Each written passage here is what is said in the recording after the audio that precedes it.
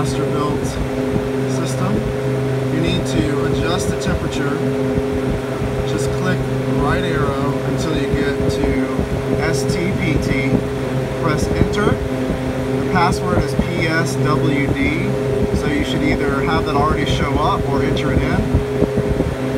Then this number will highlight and you just press up until you get to the temperature you would like and then over.